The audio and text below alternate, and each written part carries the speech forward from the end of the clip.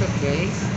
And today is my day to borrowed here at Jollibee Extension Ortigas Ama. And this is my second day. And pag extra ka, pwede ka maborrow sa iba't ibang store. Depende kung saan kailangan nila at anong station nyo alam mo na pwede nilang kailanganin sa store.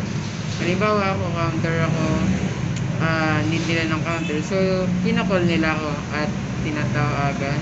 Ay, yun. Kinakall, kinakall nila ako tinatawagan. Yun. Kinachat nila ako para mag-duty dito sa store nila.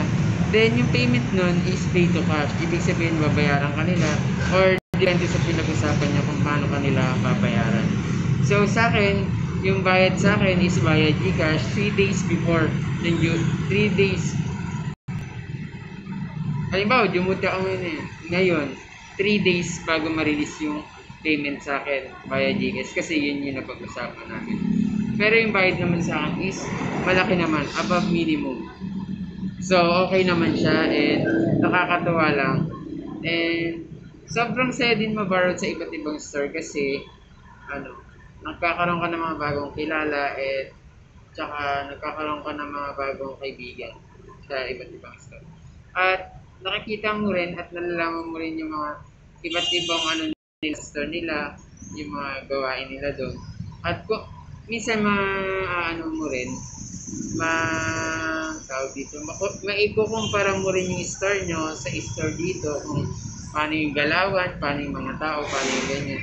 Kaya minsan masaya rin mag-barrel-barrel sa ibang store. Ito, buhay crew. Masaya yun na yung buhay crew, nakakapagod pero masaya. Like ako, may school ako, tapos may work ngayon. Ang duty ko ngayon is 8 p.m. hanggang 5 a.m. ng umaga. So, cut lang ng school ko kaninang 10 a.m. hanggang 7 p.m.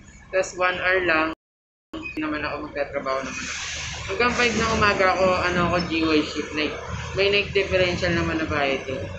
So, nakakapagod, pero masaya naman. At at the end, sana yung sasahurin mo dito, eh, gawin mo sa tama, ipang negosyo mo para meron kang Then, ayun. So, yung mga pinagpagura mo, gamitin mo sa ikakasayo mo. Kung saan ka masaya, dun mo gastos yan. Or kung gusto mo magnegosyo, magnegosyo. At yun lang siguro muna. Then, Din. Tapos ipapakita ko sa inyo kung saan ako ngayon. Nandito ako ngayon sa Pasig, Rosario. Dito ako pinag-duty ngayon. Ito yung Jollibee niya. Ito yung Jollibee store na jujutihan ko mamaya. Medyo malawak siya. May drive-thru naman siya. Then may Grab Food Panda, parking area. Medyo malawak siya. Medyo malabo lang yung camera ko guys. Pagpasensya niyo. So, ayan. Ayan yung store na yan. Ayan. Ayan, nasa Pasig ako ngayon. This is my second day dito sa may Pasig. And from bahay hanggang dito, nasa 2 hours travel time ko. So, medyo malayo-layo. Pero, okay na din. Kasi, sakto lang naman din yung ibabayad sa'yo. Parang ganun lang din.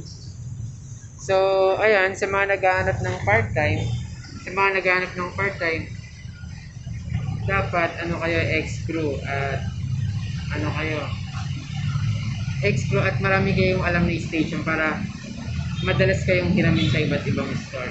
At yun lang siguro yung simpleng tip ko. Kung di nyo masyado marinig yung boses ko, medyo maingay kasi nasa kalsada ako eh. Then mag-duty na ako mamayang 8pm. Tambay lang muna ako dito. Bala ko sana matulog pero nag-vlog na lang muna ako para meron ako i-upload.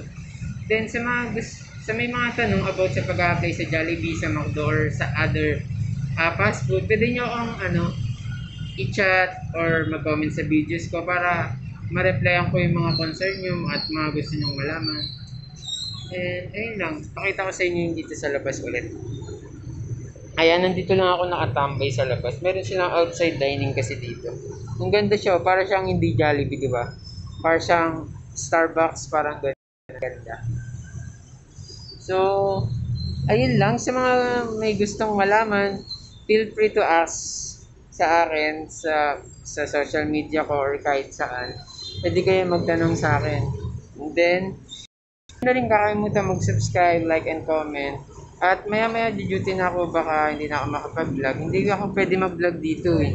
Kasi borrowed lang ako dito at hindi ko alam kung pumapayag yung ibang manager.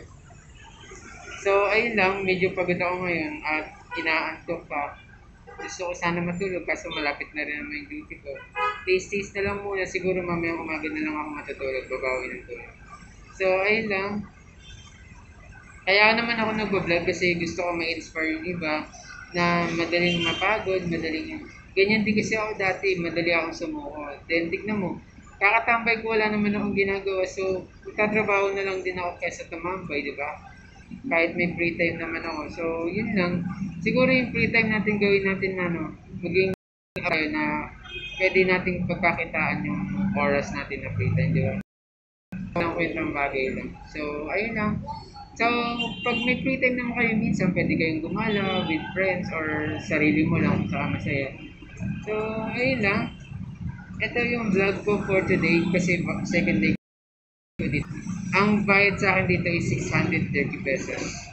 So, malaki na rin siya and then premium naman ako. So, okay na din guys. Then, yung pamasahe ko is nasa one, ah, less than 100 lang.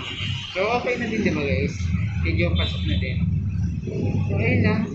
Don't forget to like and subscribe to my YouTube channel para updated ka sa mga videos ko. At yun lang. Paalam. Bye-bye.